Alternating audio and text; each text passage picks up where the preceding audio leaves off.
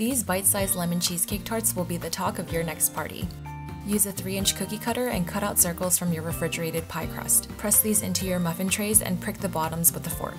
Bake these at 450 degrees for 7 minutes until they're lightly golden brown. For the cheesecake topping, you're going to whip together cream cheese and vanilla extract. Mix in some lemon curd and then fold in your whipped topping. I found the easiest way to fill the mini pie crust was with a piping bag or a Ziploc bag like this. Then I topped these off with a little bit more lemon curd, some fresh blueberries, and a light dusting of powdered sugar. Aren't these just the cutest? Thanks to Sarah Gilbert in Oregon for the recipe.